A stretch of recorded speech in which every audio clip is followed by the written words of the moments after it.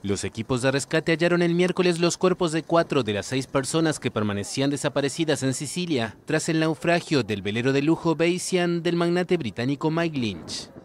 Esto eleva el balance a cinco muertos, tras el hallazgo el lunes de un primer hombre fallecido. Los buzos lograron la víspera entrar en la embarcación, que yace sobre su costado derecho, a 50 metros de profundidad. Un responsable de la Guardia Costera declaró el martes a una radio italiana que era difícil imaginar que la búsqueda pudiera terminar bien.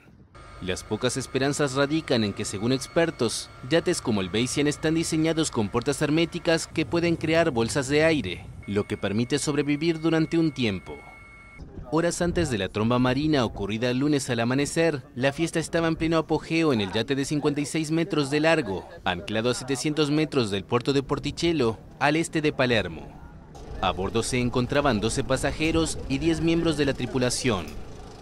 Mike Lynch, apodado el Bill Gates británico, celebraba con sus amigos, colaboradores y abogados su absolución en junio en un juicio por fraude en Estados Unidos que podría haberle costado años de prisión. El barco se hundió en minutos y 15 personas, entre ellos nueve miembros de la tripulación, fueron rescatadas.